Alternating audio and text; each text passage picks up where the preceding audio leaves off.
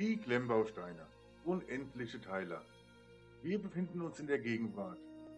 Dies sind die Abenteuer von Nobby, der hier ganz in der Nähe ist, um neue Sets zu entdecken, unbekannte Bautechniken und neue Klemmbauteile. Nobby dringt dabei in Klemmbausteinsets vor, die nie ein Klemmer zuvor gesehen hat. Einen wunderschönen guten Tag und schaut mal mein zweites Star Trek Set. Wir hatten ja schon den Klingon Bird of Prey gebaut und jetzt habe ich hier von Bluebricks die Deep Space Nine in der kleinen Version mit der Artikelnummer 104 171. Ja, Rückseite, das Modell, leicht angedeuteter goldgelber Fuß. Die Farbe bin ich mal gespannt, die wird nicht gold sein. Und ja, nichts Besonderes halt. Für eine Technikkonstruktion, also wer in dem Maßstab irgendwas größer detailliertes erwartet, der wird enttäuscht sein.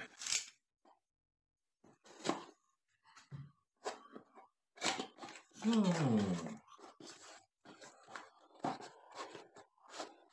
Packungen gehen einfach auf, stehen auf dem Kopf.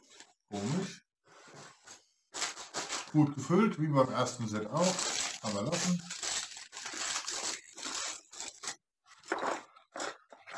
Hier haben wir den großen Technikkranz. Eine Anleitung.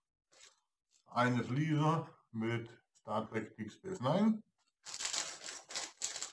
noch Gefühle mit Kleinteilen und zwei Anleitungen. Part 1, Part 2. Ernsthaft? 200 Teile, zwei Bauanleitungen. Okay. Also Jungs, könnt ihr diesen ehemaligen Lego-Mitarbeiter wieder entlassen? Das muss ja nicht sein.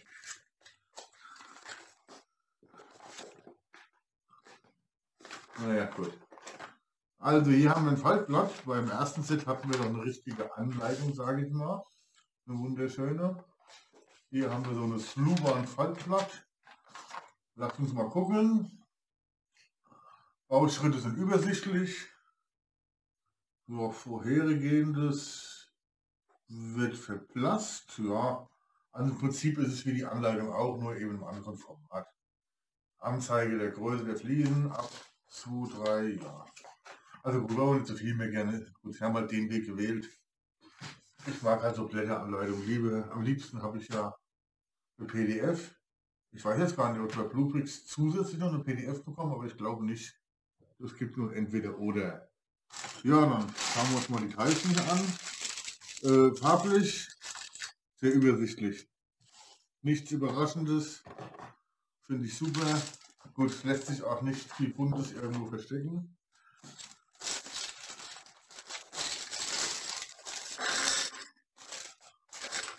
Ja doch, das ist so eine Art Pearlgold. Sieht jetzt gar nicht so schlecht aus, um Gottes Willen. Nö, ist okay. Ist echt gut. Ja.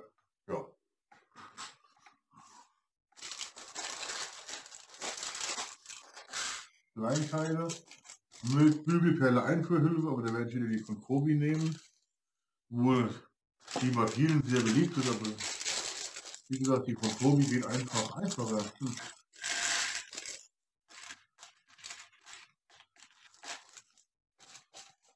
Hm. So, jede Menge graue Teile halt. Für eine graue Raumstation.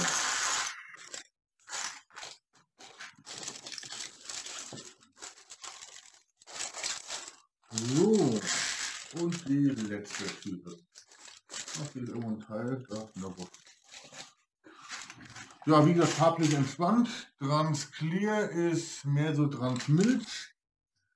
Da da aber wahrscheinlich eh ein schwarzer Pin drin rumspringen wird, ist das wurscht.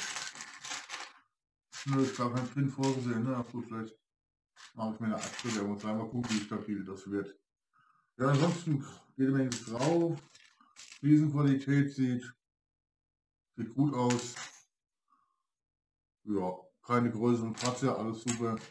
Schauen wir mal. Ja, hier haben wir diese, diesen Technikkranz, der wahrscheinlich kommen hier Achsen rein. Ich weiß noch, wie das festgemacht wird. Werde ich gleich sehen. Das ist auch bestimmt für so einen Backe oder so, für so, für so einen Kran als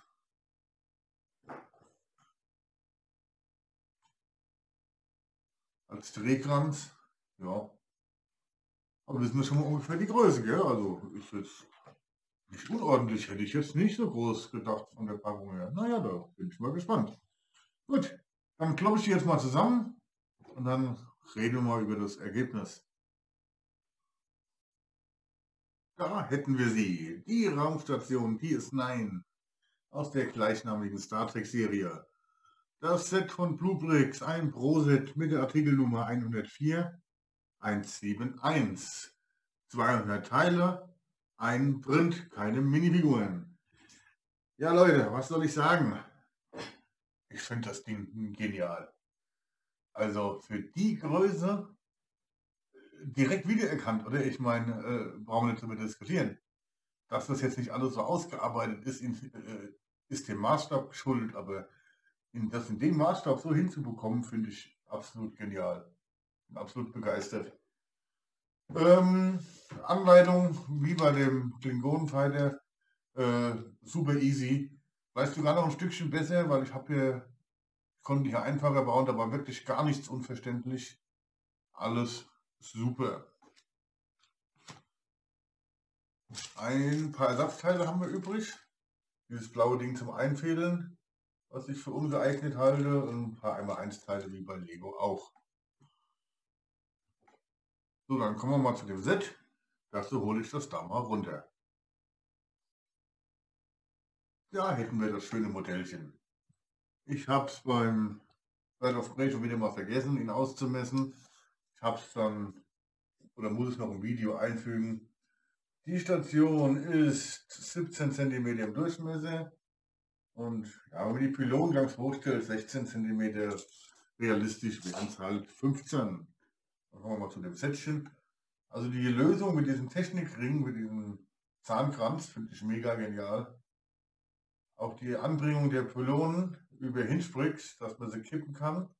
Dann hier oben über C-Klemm und mit einer Blade Modified, mit Halterung, mit einer schier unglaublichen Klemmkraft.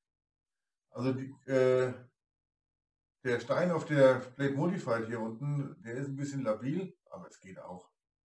Wenn man halt drankommt, geht er ab. Der hängt halt auf zwei Noppen. Das ist halt jetzt nicht das stabilste. Ja.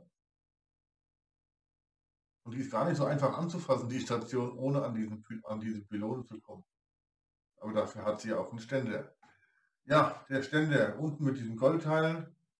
Tisches, der große Tisch ist oben drauf, auch in diesem Perlgold nenne ich das mal, Gelbgold, zeige ich mal hier, äh, bedrucktes Schild, Star Trek Deep Space Nine. Hier in der Mitte haben wir eine Achse drin, dann die Transclear-Elemente, etwas Rotes, so wahrscheinlich das blinkende Stationslicht unten darstellen. Dann haben wir hier so mit Schraubenschlüssel so ein paar Elemente gebaut als Dekoration. Hier so Kuhhörner in, in Grau. Sorry, musst du wieder mal einen Schnitt machen. Ne? Junge Katzen sind sehr aufmerksamkeitsbedürftig. Ähm, wo waren wir stehen geblieben? Bei den Kuhhörnern. Wenn das sowas ist, also. Wenn du es so anguckt, sieht doch aus wie so ein Bulle oder so ein Geweih, oder? Ja, Katze, da bist du ja schon wieder. Das ist nicht zu fasen. Gestern war sie 24 Stunden verschwunden. Ne, heute geht es mir nicht mehr von der Seite. So, hier oben drauf haben wir so einen Kranz gebaut mit so äh, Viertel äh, Rundfliesen. Der wird auch einfach nur draufgelegt der ist an drei Stellen verbunden und wird hier auf zwei Jumperblades draufgelegt. Und dann wird er auf jedem von, diesen, von dieser Halterung oben mit, einer, mit, einer, mit so einem Slope gekontert, sodass der da fest drauf ist. Geniale Technik. In der Mitte einfach nur ein Zahnrad, Deko halt. Die oberen Pylonen halt auch wieder hier zum, zum Absenken. Wo haben wir das Star Trek-Schildchen da? Ja, man darf halt nicht an die Pylonen kommen. Das ist wirklich ja. Ja, schönes Stationchen. Passt auch zu dem Bird of Prey, bin auch nicht größenmäßig. Aber wie klein soll man dieses Raumschiff bauen und das da hinten ist eine 2x3 äh, oder was. Aber so nebeneinander sehen die doch ganz schick aus. Jetzt holen wir uns noch die Voyager dazu. Die baue ich jetzt als nächstes. Und dann schauen wir uns die drei Minisets mal gemeinsam an. Ich wünsche euch noch einen schönen Tag und denkt immer dran, Klemmbausteine verbinden.